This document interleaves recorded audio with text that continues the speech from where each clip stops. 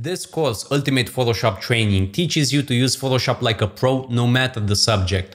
You'll learn how to get creative with your photos, retouch skin issues, remove someone from their background, enhance features, and so much more.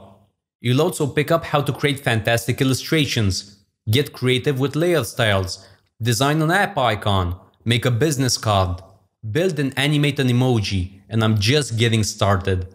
Using all my teaching experience, I've structured this course in a progressive manner, so I take you from absolute beginner and we take a hands-on approach. You'll have exercises, activities, challenges, and you'll learn by working alongside me, not by watching. So this is a real hands-on approach where you actually study and practice as you go along.